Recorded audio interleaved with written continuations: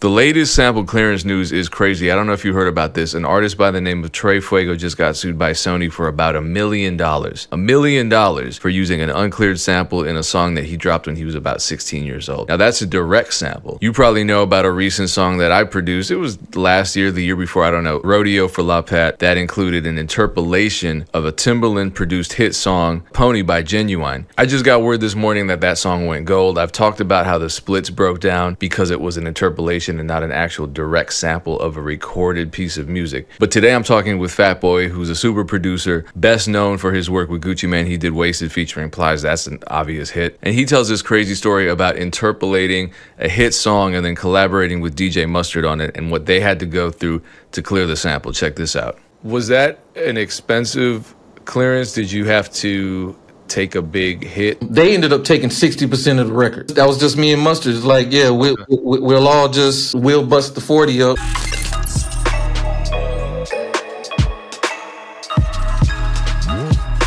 This is the first time we've ever spoken, actually. Um, yep.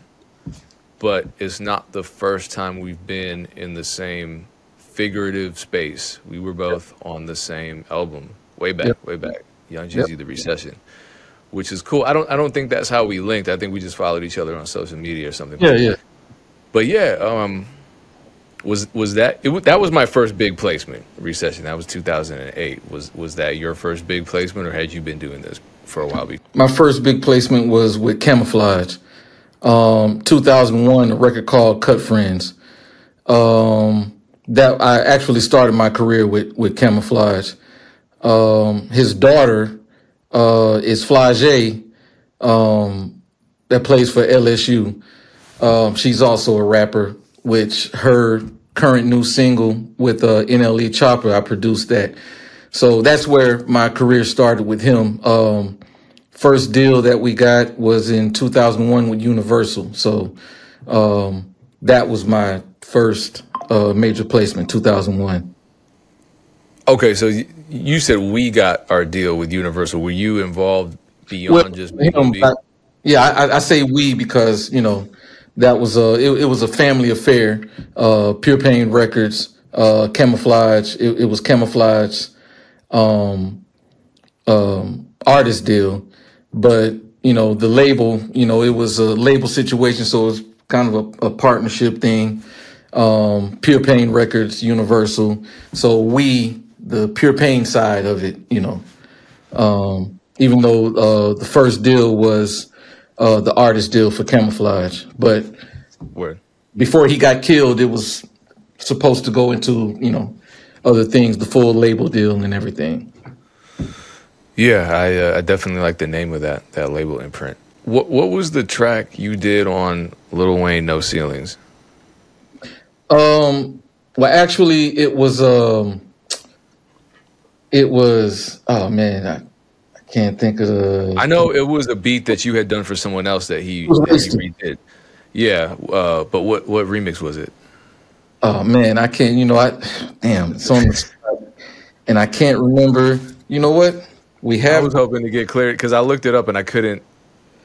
Uh, I, I, mean, I was a little lazy with the research. I'm not gonna lie, but no, no, man. Look, man, it, it was um, that record let's see, wasted.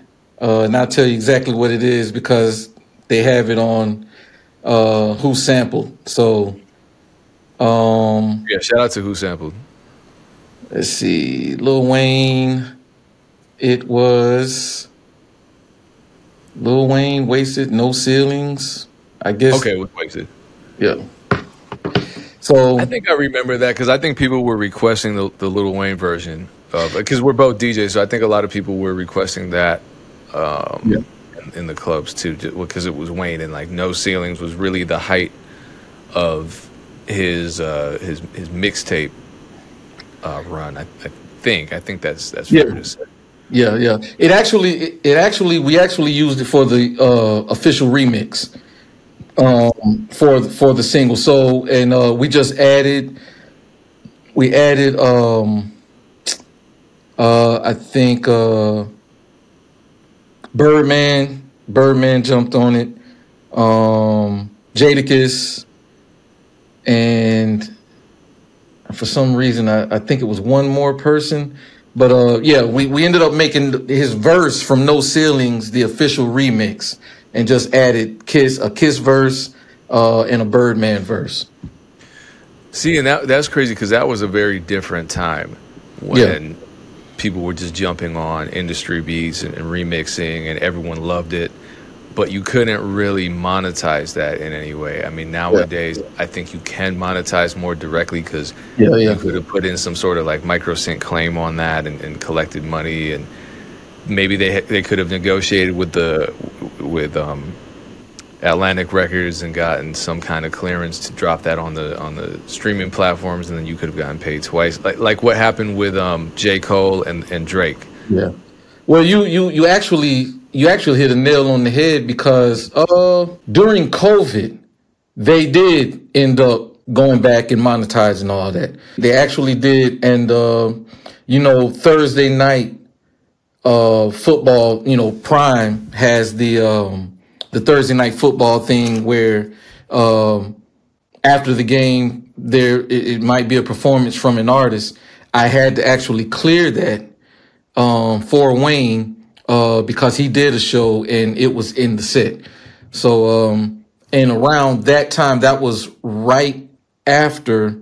So this this might have been 21, maybe, might have been 21. Right after that, 21 or 22, but right after right after um, they monetized everything that that happened with the Wayne version and everything. He did that right after that, so I had to clear it right after that. So yeah, it did. It, it, did. It did come back, and you know, a lot of monies from his version of everything started coming through. So, what did that look like? Getting you know, be, a lot of producers are on one end of the clearance process. They're the ones doing the sampling, not the ones um, from whom artists are requesting clearance. What did that look like on your end? Um, as far as Wayne asking for the clearance for that performance. Yeah, what kind of what kind of clearance did you have to give? What what was that process like? Um, that process was um, they contacted Sony, um, where I have you know um, admin with, um, and the terms of it uh, was something like uh, two years. Uh, it was it was actually three or four at first. Uh, then they cut it down uh, to two years um, for the use of it and for Prime to, you know, um, Amazon to run it however they uh, saw fit. Um, but it was it was it was it was fairly simple. Um, they came in with the terms. Uh, I agreed to the terms. Uh, it was a it was a, a one time upfront fee, um, and I think that that fee might have been like uh, 10k or something like that uh, to clear it. This was handled through your your publishing admin yeah. because at this point, the record Atlantic Records owns the master to that song, right? And you still retain your 50% or whatever equity in the underlying composition. Like this, these are the types of stories that make it real. Yeah. Because I, I, I, I'm just always trying to beat IP law over producers' heads when I make these yeah. videos because I feel like once you know what I mean. Once you understand the difference between the two copyrights, what they mean, how you can get paid off of them, how to exploit them, and and the the um, fact that you own them by default as the creator of that beat, suddenly you've basically unlocked the majority of the music business. And every time, oh man, any deal comes your way, you're already prepared because you are aware of these very in, in, a way it's the simplest business on the planet because it's just yeah. two copyrights how you exploit them but i think the industry complicates them and then a lot of producers heads start spinning and they just don't retain that information yeah. and they get confused but a lot of the confusion comes from just like place yeah it all it comes down to just a fundamental lack of understanding of those two copyrights and what they are yeah because you know, like you'll hear people talk about oh yeah um, the label's got the mechanical rights. I'm like, what are you talking about? Mechanic? No, that's not how that works. It's just people conflate mechanical rights with master ownership, uh, it, and it, they think publishing is the same as as um, I, I don't know. It's it's two copyrights, different royalty streams. Just, just there are charts out there that explain it. I'm always showing one chart. Yeah, and and and I re- I remember, I remember you posting something, um, like you do on uh on Twitter X. like, like I do. Yep. you know, because because you, you're all you're, you're always posting some some knowledge about the business, something something that's factual, and I see you get a lot of pushback on you know like like you don't know what you're talking about, and you brought up something about uh, it was something about sample clearance, um, and I think this was the first time you know because I, I I every day I, I see you post something knowledgeable. Um, I don't always say anything because you know most of the time you you know you got it you got it handled. This particular day, uh, you posted something about sampling um, and the copyrights and and and all that, and somebody was giving you pushback about you know well this and this and this and this and um, I, I added to your uh, your post about um, sampling the the actual master versus just uh, interpret. Yep, interpolations. You know, and and um, in that instant, I added to what you said about it. With uh, you know, if it's just an interpolation, it's just a publishing deal. You don't have to. Um, you didn't sample from the master direct, so you don't have to clear it with the master side of it. You just clear the publishing side of it. And and and I've I've been on both sides of that, where I've had to clear uh, one of my older uh, records, uh, Latto, for instance, sampled. Uh, well, it's an interpolation of Gucci Mane. Um, Vet passed by. Uh, so she didn't have to get clearance from the master side, but she had to clear it with on the publishing side with me and Gucci. Um, and uh, other situations with uh, you know um, me having to clear several of my records, um, all interpolations, nothing from the from the from the master, but you know that day. Um, you opened a big can of worms that I saw most newer producers or, or aspiring producers have no idea, no idea how it. It's a shame. Um, I, I I don't really have a magic bullet for not just the lack of knowledge, but the fact that it appears. I don't know. I think I think newer producers don't like being told, and then they kind of look at people like us like parents, like we're telling you what to do, and it's like no, we're just we're in the same way a parent is telling you, hey, you're 15, don't get drunk and steal a car, Right. and then you're like, oh fuck that, I'm gonna go get drunk and steal a car. You you don't run me. It's kind of the same, and then they come back and they're like, yeah, I got drunk, stole a car, went to jail, my life is ruined. Can you help me? And it's like, Like, didn't no, I tell you so? It, it's I don't know. Yeah, yeah, yeah. It, it's just an interesting phenomenon to to experience, you know, because I don't. You you'd think you'd want to learn this stuff because it would it, it helps you, but then again, people just want to rebel against who they see as an authority figure, and it's like I'm Yeah. not an authority figure, bro. I'm one of you. I'm I've just made those mistakes before Right. you did. Right. So I'm telling you what's going on. The authority, the people you got to rebel against, are the ones that are going to take advantage of you for being ignorant. Absolutely. Absolutely. It happens it happens every day. Um and and I'm I'm I'm coming from uh the aspect just uh, uh same side of it as you. Uh I'm trying to when I can, I'm trying to limit, you know, because it, it's it's it's one thing just going back to the parent reference, it's one thing, you know, parents that prepare their children um they they've given them all the information that they can and however the information was was received that information is always in the back of their head and that's the difference in a well informed child versus a not so well informed child bumping their heads every child is going to make their mistakes when they go out into the real world the difference is the child with the information um, from their parents is just going to get a knot on their head. the child not so that either didn't receive the information or never got it is going to give themselves concussion. And that's the difference. You know what I'm saying? If you have information, you lessen the blow. You're going to still going to make your mistakes, but you've ha- you have the information to know how to navigate it. Or once you see it up close in person, oh yeah, my dad told me about that. And and, and you know the the the blow to the head is not so you know you don't give yourself a concussion and knock yourself all the way completely out.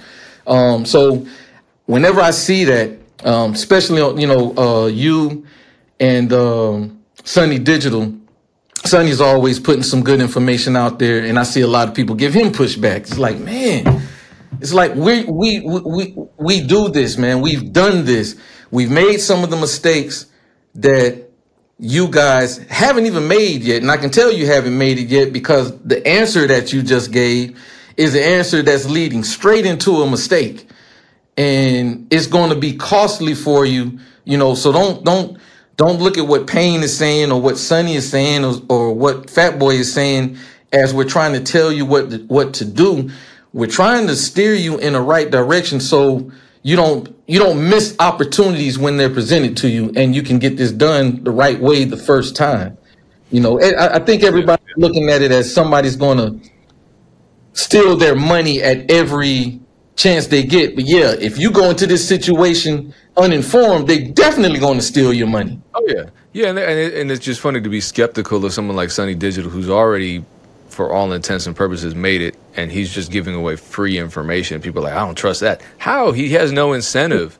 Free there's no, no, ulterior motives. He's not getting paid whether or not you listen to him. He's Right. just doing it because he knows what it is. He's lived it already. He's lived it. Um, so switching gears speaking of people who've lived it you, you have a lot of number ones a lot of top fives a lot of plaques i, I don't know if we can count them um, but just going through your resume uh, one thing i noticed on the Monica album, you're the only producer on that album that's that's has a solo credit. Everyone else, including legends like Timbaland and, and Polow da Don, collaboratively produced those records. But Yeah.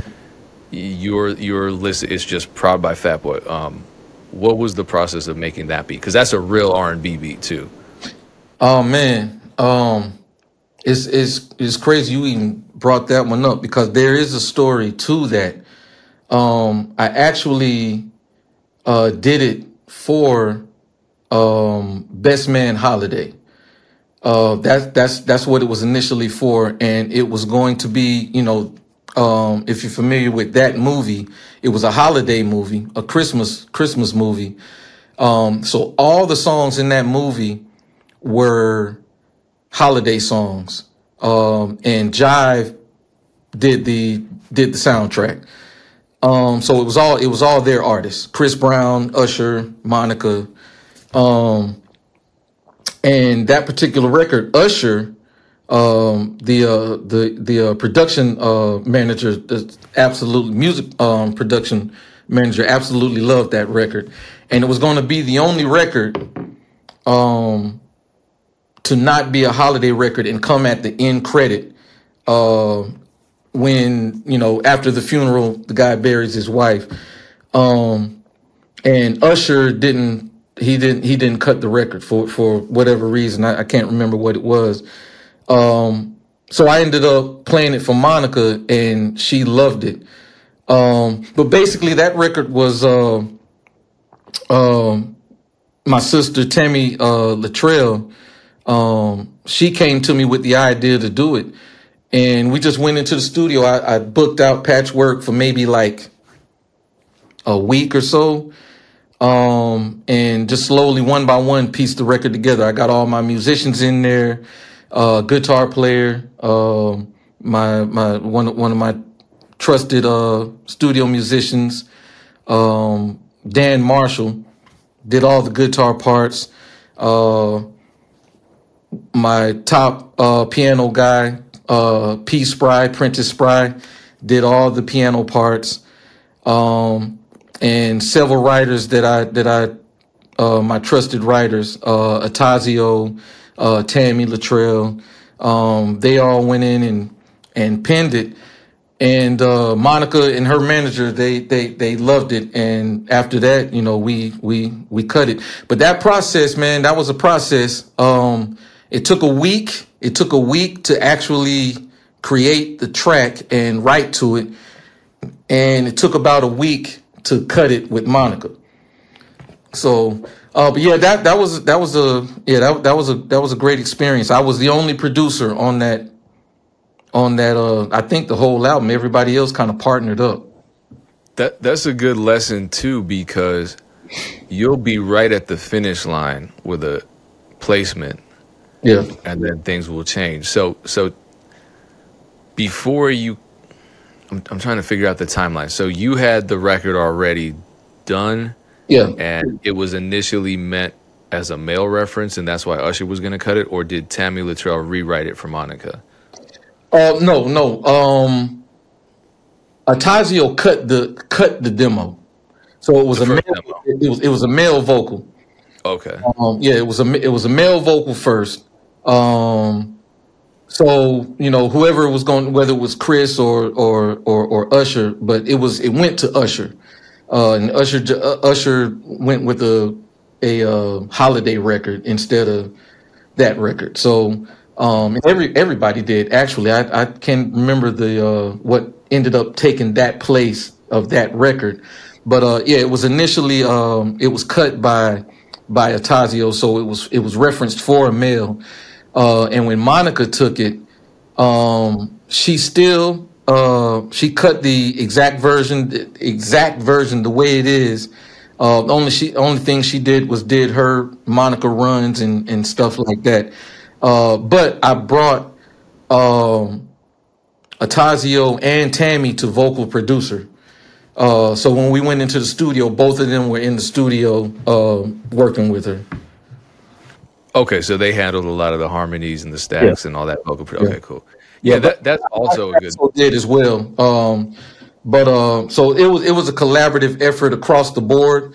Um, if there's something that I wanted Monica to do, uh, I just hey Mo, try it, try it like this, try it like that. Um, it it may have been it may have been some extra things um, that weren't in the uh, the demo version uh, that we added for specifically for Monica, but the meat and potatoes of it uh, was was already there. She she she cut the record uh, as as is the way we presented it to her, and then she put her sprinkles on top of it, including the uh, the choir. It is it, it sounds like it's a choir in it, but the choir is actually myself, Atozzio, uh, Mike White, and one other guy doing all the parts.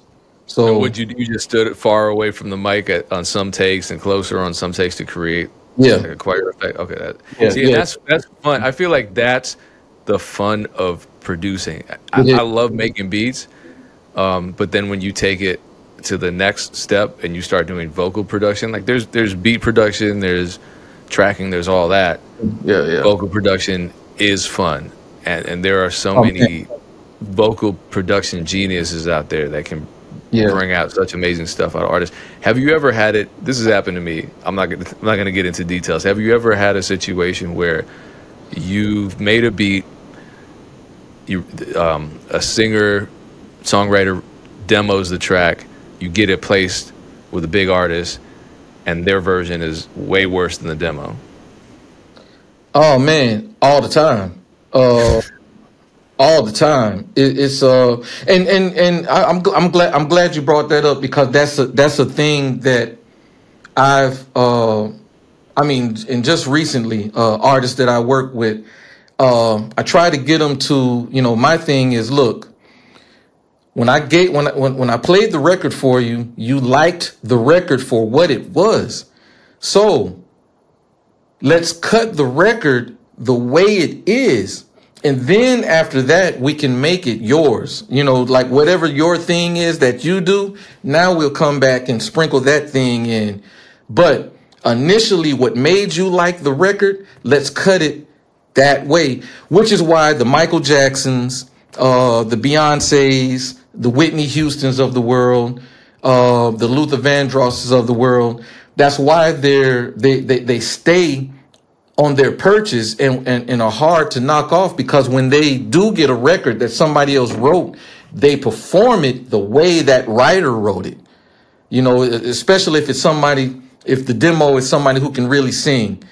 They perform the record that way. And, and I and, and when I say that, I mean from how they pronounce certain words, little nuances in the record and everything. You know, if uh if, if the person said uh wow. They're going to sing it wow just like them. Whatever's in that record they're going to capture what they liked about the essence of that record. And then they come back you know if it's michael jackson then he's going to come back and add the hee hee and, and, and all that stuff after the fact. But he's going to sing it exactly how you did it. And and that's one thing i don't understand about a lot of uh, newer artists today is like, okay, you're taking the demo and you're taking what you actually liked about the demo out of it, and you're turning it into. I know nobody has heard it, but the record is not. Prime example, I did a, a Mai record last year. Uh, this is, um, and it had an interpolation of a Shalamar sample in that record, um, but Ella Mai performed the record exactly how my writer wrote the record. Exactly. Exactly. Caught everything about the record. And when the record came out, I mean, it's it's man, it's it, it's the record. The only the only thing Ella did was she added uh she added a pre to the record. And her pre was perfect. It didn't take away anything from the record. It added to it um, made it even better. Um, but the main performance of the record, the hook, the verses, she did the bridge, she did exactly the way my writer wrote it. And that's why the record, you know, ended up becoming a single off of the deluxe and, and was on radio. What you don't have to tell me details of this, but so you you produce a Ella Mai record, you interpolate a Shalamar sample. I'm guessing from that from some one of their 1980 yeah. early 80s albums. Yeah, uh, got that cleared. In you. Sorry, say it again. This is for the lover in you. Oh, okay. Was that an expensive clearance? Did you have to take a big hit on the equity in the record that that you got? Now that record, being being that it's it's one of Shalamar's um, most popular records, yeah, it's up there. Um, Shalamar ended up, well, Howard Hewett, and I think it's two writers on the record, Howard Hewett and uh, Dana Dana Meyers. Um, they ended up taking sixty percent of the record, which which which which was to be expected. I, I knew the whole, the whole thing, including Ella Mai's part, everything. Yeah, sixty. 60 flat across the board. Okay. Across the board. 60. Howard Hewett has some amazing solo music too. So, I, yeah, I guess it's to be expected. 60, oh, damn, 60 seems like a lot. I know 50 they do a lot of times. I tried to get it at 50. I tried to get it at 50. But at the same time, it's like I, I also, uh, and see, th- this is the thing too. Knowingly going into that record, I knew what I did. I, but it was on purpose. It was purpose. Uh, you know, I knew what I did. I, I actually, I made the track myself and uh, P. Spry, um, that played the keys on the Monica record. Um, I did it during COVID, 2020. Um, but everybody that I played the record for, um, they couldn't get the original out of their head. Um, so my writer oh. at the time, yeah, I see where this is going. Yes, so they kept capturing the the, the original. Um, my writer was only 22 years old at the time, so she didn't grow up with that record the way I did. Uh, that was a record my mom played every Saturday when we were cleaning up. So, um, her not knowing anything, not not having a, a, a connection to that record like me, all I did was just point her in the direction of the melody that I wanted her to capture, which is which was the this is, and then the rest do you. Um, but going into it, I knew what that was going to be. You know, I, I knew I knew I could take an expensive hit on that record. Um, but the record was a great record, so I, I wasn't really tripping about that because knowingly I already knew what it was. Um, could have been even worse if I'd have directly sampled it from the master. Um, but being being an interpolation, it ended up being 60-40 split. And I wasn't mad at it, you know, going into it. You know, I, I would have rather it been 50-50, but it didn't end up 50, it ended up 60. But, you know, uh, for that to come out, it, it, it ended up, you know, how it did. Out of that 40 remaining percent, you still got a piece of that? Yeah, yeah, yeah. So they were cool about it because a lot of times labels will just pass it all the way on to the producer and say, okay, cool. You would have gotten 50%, but since they're taking 60, that 50 is coming out of your pocket. Out, out of your thing. Yes. So it, it, it, wasn't that. It was a breakdown. Uh, we, we, we cut it down to, you know, my writer, uh, Ella Mai, um, myself, and DJ Mustard. And we just we just broke it down. So so is that partially because DJ Mustard had some pretty good legal resources that would fight for that equity? Was it your your publishing admin that that fought for you? Was it a lawyer? No, that was that was actually just me and Mustard. That was just that was just me and Mustard. It's like, yeah, we, we, we'll all just you know uh, the remaining 40, we'll, we'll bust the 40 up. Shalamar's, you know, we can't get Shalamar to move on the 60, uh, and, and we'll we'll bust up the 40. So okay, because yeah, Mustard is involved in Ella Mai's career beyond just a producer, and yeah. coming from a producer's perspective, Mustard is gonna be more equitable when it comes to, to sample clearance. Okay, so that's it's good to have a producer in these executive positions. Yeah. Because a lot of executives are just all about their bottom line. Yep, they, don't, yep, they don't care yep. about producers. Absolutely. And, and and it was it was it was I mean it was fairly uh it was fairly quick. Um there was no hiccups, no hangups. Shalamar, you know, Howard was, you know, no issues with Howard. Um, and and I'm not saying that it was an issue with the 50 or the 60, um, but that was the only thing that I uh, tried to fight for, and it and it really wasn't even a fight. Like I wasn't going to like no 50, you know. Um, you know, it, it was a I, I I shot for the 50. Uh, they leaned in on the 60, and that was it. Um, I let it go after that. Um, Interscope sent all the paperwork over to me. I, you know, uh, put all the players that were involved, um, all the credits, um, the Shalamar credits, you know, where everything came from, turned it back in and like that, clockwork. And that was a that was a plaque, right? Uh, not yet. Uh, it, it's it's it's approaching, but it, it hasn't uh it hasn't been official yet.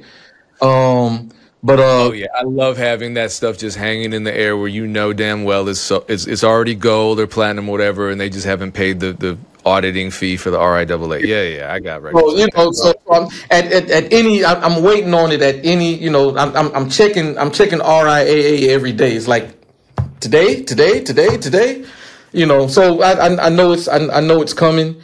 Uh, so I'm not tripping about that. And the setup, the setup of it was good. It was perfect. It was perfectly timed. It's a, it's a lovers record. So, uh, when they released it, it was, uh, Grammy, Grammy week, but also Valentine's Day week.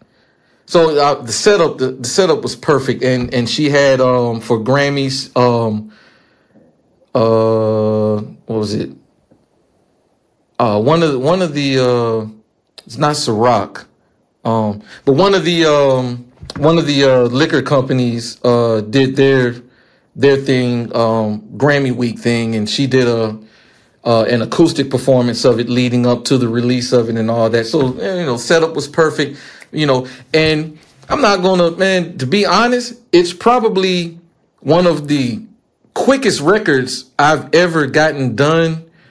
Um, the logistics of it, you know, especially, especially dealing with the, with the sample. It's like, oh man, this like, this was just bow, bow, boom, bing, done. just like that, you know, no, no hiccups no hitches, no nothing, no pushback from anybody. It was just, uh, it was just everybody was on board with it, including Shalamar.